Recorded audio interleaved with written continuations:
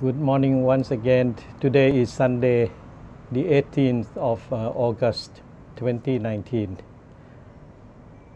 Uh, this morning I want to say something about the populist policy measures about to be launched and undertaken by the General Prayut government. There will be a series or a set of measures towards helping the farming population and the citizens whose life are below the poverty line. Together, it would come to about 60, 16 million people. So, about one fourth of the total population uh, of Thailand. So, the Prayut government is continuing the same type of economic uh, development and stimulus approach as what he has been doing when he was the prime minister under the military government of the past five years. And these populist policy measures are no different from successive governments under the leadership of the former Prime Minister Thaksin Shinawat. Why is it so that the Thaksin government and the military led government or military dominated government are a sort of arch enemies politically? But how come they are more or less the same in terms of the economic development approach through populist policy measures? The answer is that because the economic team under Mr. Thaksin's government or his proxy governments is the same as the same people that are now working for General Prayut and the military junta of the past five years and will continue to be in power at least for the next four years under the present terms or duration of the current parliament under the new constitution of the year 2017. So the same economic team has been running Thailand economic activities more or less almost 12 years, with the exception during the Abhisit led government of the Democrat Party uh, from late the year 2008 up to the middle of the year 2011. So at least 12 years, Thailand more or less has been governed by populist policy measures. I am personally against populism in general and against populist policy measures in particular because they are discriminatory in nature.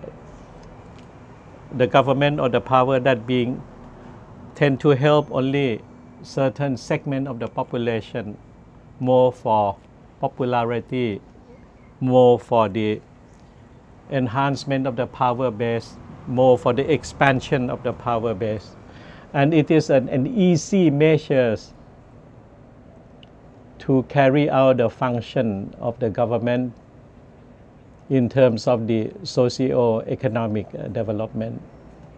It doesn't need much brain or intellectual capacity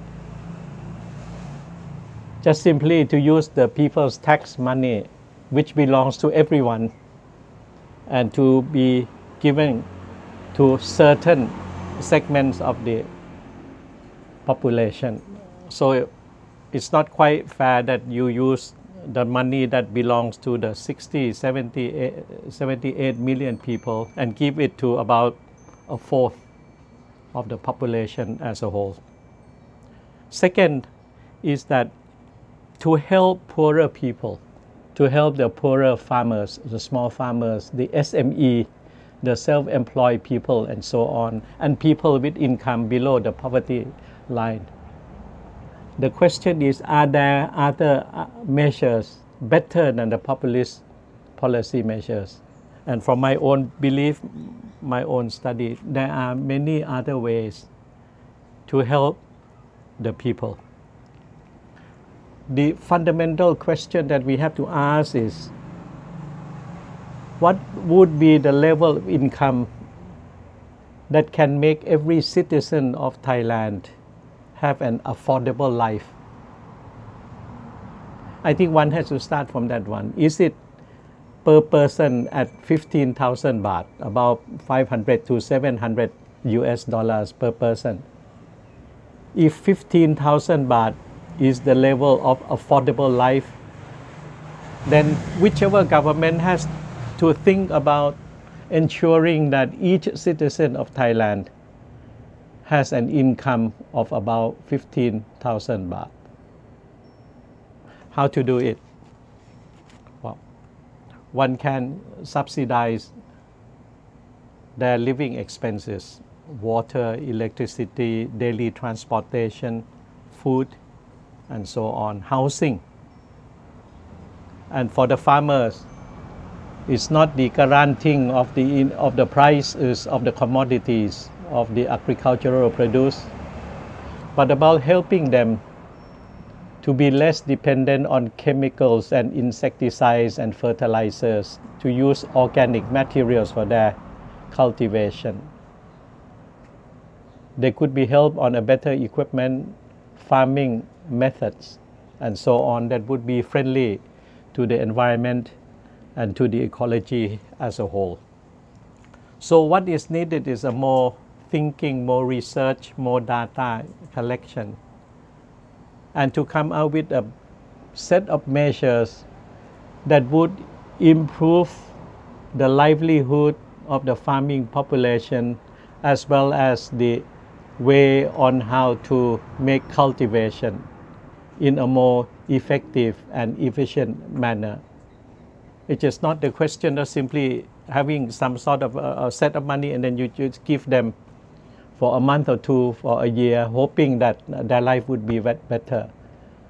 I don't think that would be the case because by giving another thousand baht, two thousand baht, or three thousand baht by this present government, there is no monitoring system whether the money would be used into productive activities. I am quite sure that a lot of people would use that free money from these populist policy measures to pay the debts, to buy lotteries, or to buy the underground uh, lotteries. Quite a few would get across the border into Laos, Myanmar, and Cambodia to bets at the casinos along the borders between Thailand and the neighboring uh, countries. So free money being given under populist policy measures will be spent in an unproductive manner.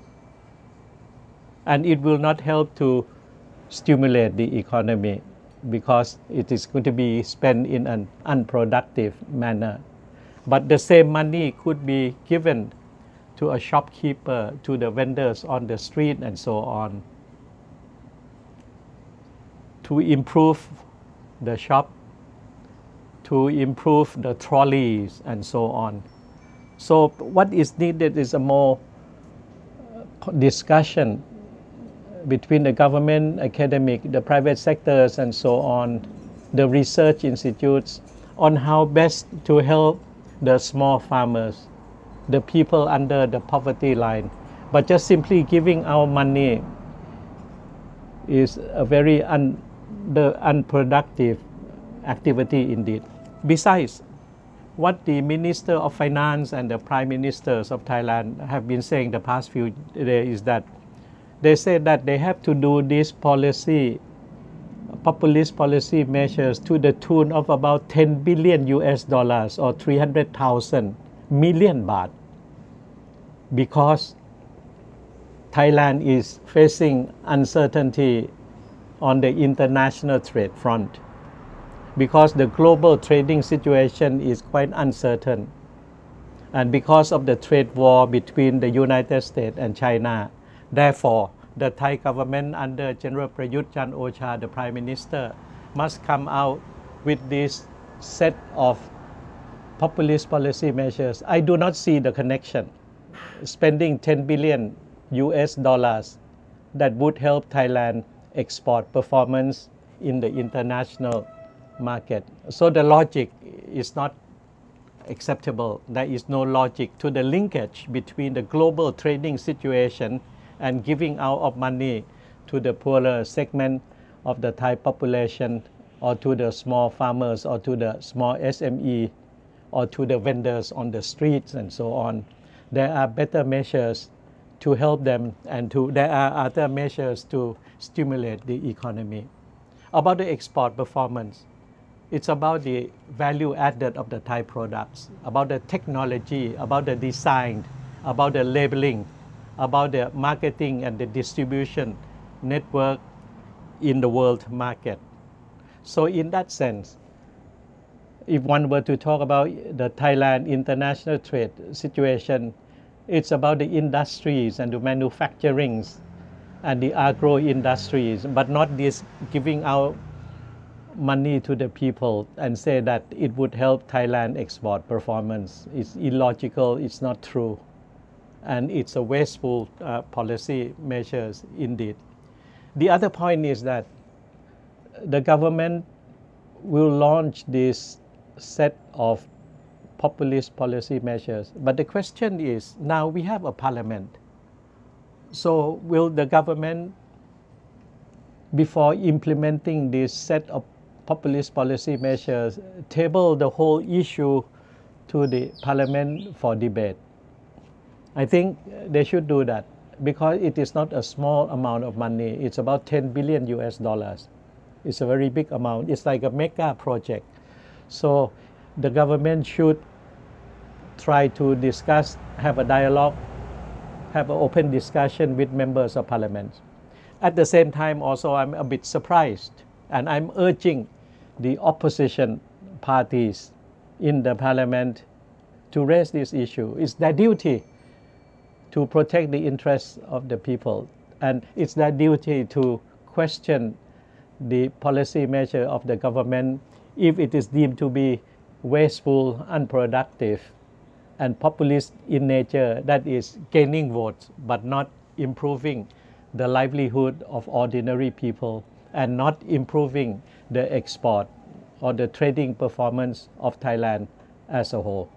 So hopefully opposition parties, the academic world, the private sector and so on, the media should come out and question this set of populist policy measures that we have seen the past 12 to 15 years that have not led to the betterment of the quality of life of the small farmers, the small shopkeepers, the vendors on the street and so on.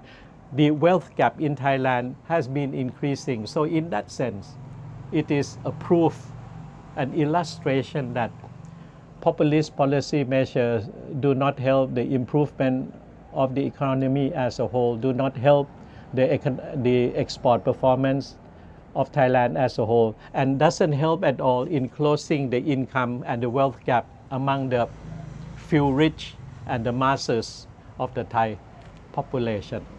So, a food for thought to you today for this Sunday 17 of August 2019 thank you very much สวัสดีครับ